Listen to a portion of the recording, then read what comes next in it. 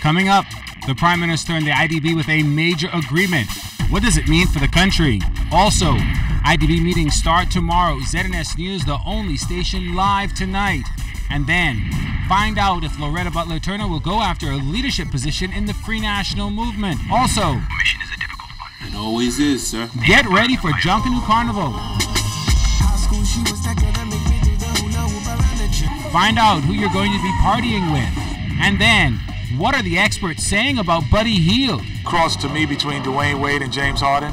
ZNS Total Sports, the only station on the Buddy Hield journey at the Final Four. The Bahamas tonight. The National Report starts now. Now in HD.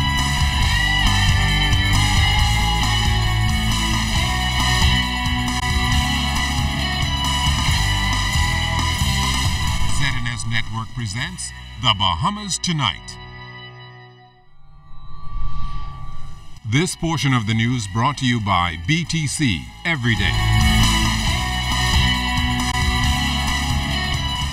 The Bahamas pulling off the successful launch of a major international conference at the new Baha Convention Center, which could be the preview to some good news at the stalled project.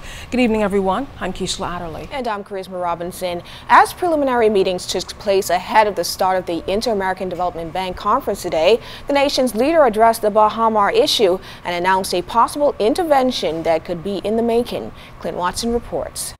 As delegates arrive for the global conference put on by the Inter American Development Bank at the Baha Mar Convention Center this week, the government will be waiting with anticipation as some of the players that will attend have major interest in advancing the stalled $3.5 billion resort. We have been advised of some very, very significant personalities coming from China with whom um, we are arranging to have bilateral meetings with, with respect to bringing this in. Very high ranking persons coming in.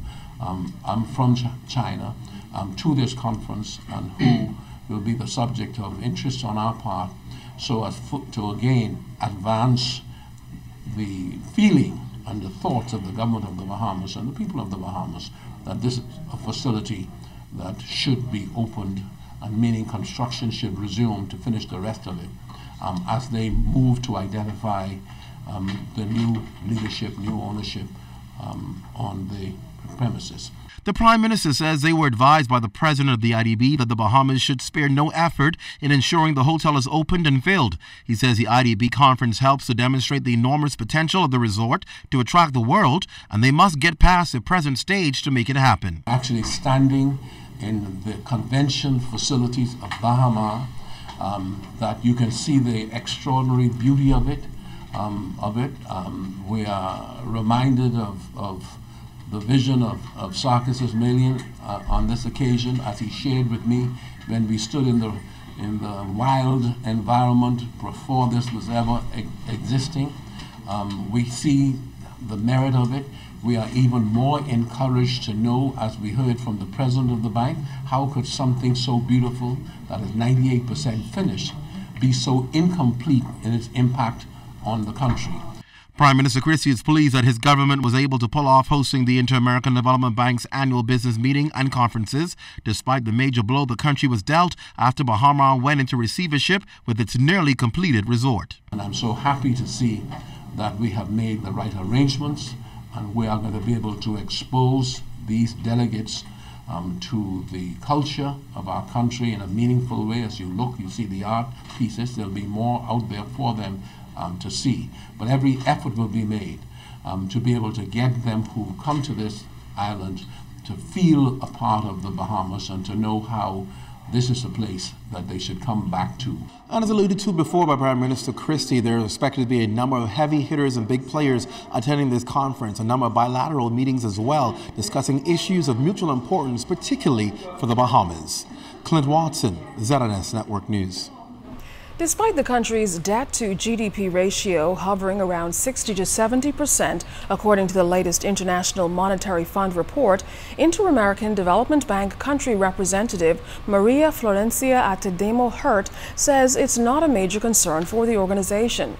IDB President Luis Alberto Moreno shared during a press conference today that the country has a total loan portfolio of $253 million with the bank. Attademo-Hirt says compared with other Caribbean Caribbean countries, the Bahamas is not at the high end. She says the IDB considers factors like the quality of debt. We do a more comprehensive analysis and look at the composition of the debt, look at the use of process of the debt, look at the trajectory of the debt, and also any other fiscal measures that are being put out there by a government to strengthen its fiscal position, both revenue and debt. We feel comfortable about having a very strong dialogue with government about all pieces of the economy, including that one, and about supporting country in terms of what else can be done to strengthen the fiscal situation. Yeah. Well, as we heard, working sessions started today down at the Baha Convention Center. And that's where we find our Altaviz Munnings tonight, who gives us a look at what to expect in the days ahead.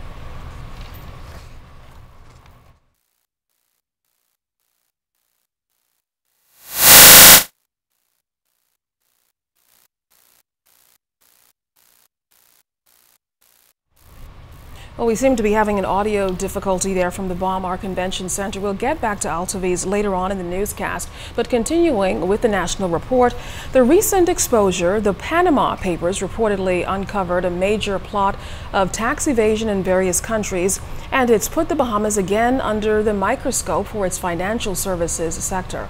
The papers list the Bahamas as number three in the world for money laundering and as a haven for tax evasion. Today, Prime Minister, the Right Honorable Perry Christie, addressed the issue to foreign and local media. Clint Watson has more. Prime Minister, the Right Honorable Perry Christie, says the country has done the right things to remain compliant as it relates to money laundering and tax evasion by offshore companies.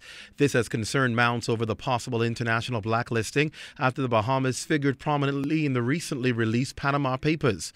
Speaking to foreign and local media at the IDB conference Thursday, Mr. Christie was confident the Bahamas will be vindicated.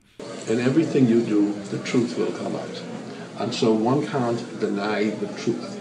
It is just a, always a challenge when people leak things. It's a challenge to countries um, that have laws and when the laws are breached. Now, with respect to the truth, the truth is the most important thing going forward. And countries have to find a way to be able to be com- comfortable with their relations with other countries. The Prime Minister reiterated his government's work to ensure the financial services sector is a well regulated one in keeping with world standards. We feel that what we have established here, that we have been in compliance, we're still in compliance, and we have a jurisdiction that is an honest, trustworthy jurisdiction. But we stress that it's a jurisdiction where we offer facilities to people that are lawful and permissible. When you asked us about anti-money laundering. We have passed the strongest legislation. When you asked us about anti-terrorism legislation, we have passed the strongest legislation. When you asked us to be accountable, we have demonstrated we have a transparent and accountable jurisdiction. All of these things we do. And many times we have to sit and watch jurisdictions that are imposing these standards on us. They don't have the same strict adherence to these things that they're asking us to have. Mr. Christie touted that the Bahamas seeks new and innovative ways to grow the sector, which includes broadening its markets. So we've gone into Latin America, we've gone into Mexico, we've gone into Brazil um, with, with programs and new products, we think, um, that will offer them a facility in our country that is above board and one that does not hide things away from people. And so we, we feel that even though there is this notion out there um, that countries like the Bahamas are used to hide money, we have the opportunity to have relations with countries, one-on-one or bilateral arrangements. Um, we have to make decisions as to whether we take a multilateral approach or a bilateral approach to this, and the country is making all of the decisions. Clint Watson, ZNS Network News. And now this, this afternoon, the Broadcasting Corporation of the Bahamas received a notice of injunction filed by the law firm of Harry B. Sands, Lobosky and Company on behalf of the Coalition to Protect Clifton Bay, Zach Bacon and Fred Smith QC that seeks to prohibit the sale and or publication of documents belonging to or relating to Zach Bacon, Frederick Smith QC, and the environmental organization known as Save the Bays and or its directors. While While the injunction notice does not specifically name a respondent, we understand that several media outlets may have received similar notices seeking the curtail reporting on the Save the Bays murder for hire saga that has gripped the attention of the national news for the past several weeks. As a member of the Fourth Estate, the Broadcasting Corporation and its new operation take any action that seeks to inhibit or frustrate our frustrate our efforts to deliver the news seriously.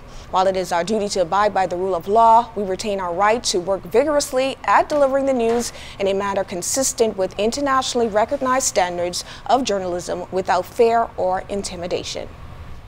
Fox Hill MP Fred Mitchell has written House Speaker Dr. Kendall Major addressing what he calls breaches of the privileges of members of Parliament over the feud with members of Save the Bays. In the letter dated April 7th, Mr. Mitchell states that attorney Fred Smith reportedly threatened Tall Pines MP Leslie Miller with contempt proceedings if he provides further information regarding Save the Bays.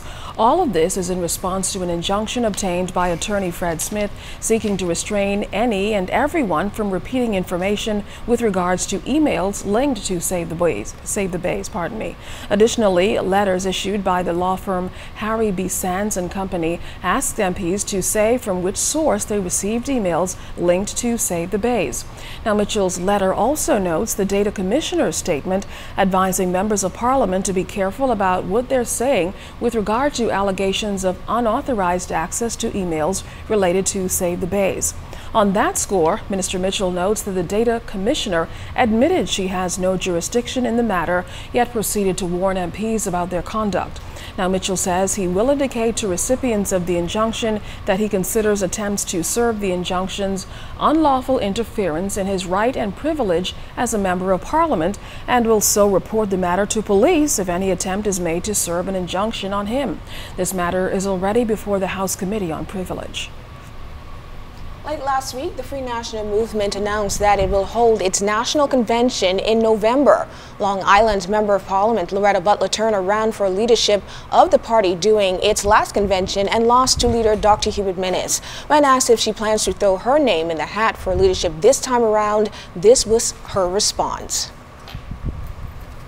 I can't say no intention. I have no idea of that at this time. Um, I think my priorities should be on my constituents and on national issues as it relates to many of the um, hot topic items that I feel the government is not addressing, and that's where I'm going to be placing my emphasis. At this time, I have no intent to offer for anything. Um, obviously, I think both political parties are going to convention. Um, but who knows? At the end of the day, uh, we do have an election to fight, and my focus is primarily on Long Island at this time.